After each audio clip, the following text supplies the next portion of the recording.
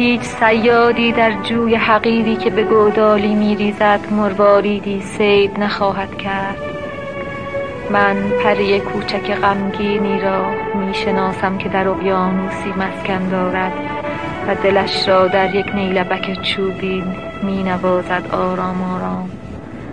پری کوچک غمگینی که شب از یک بوسه می میرد و سهرگاه از یک بوسه به دنیا خواهد آمد.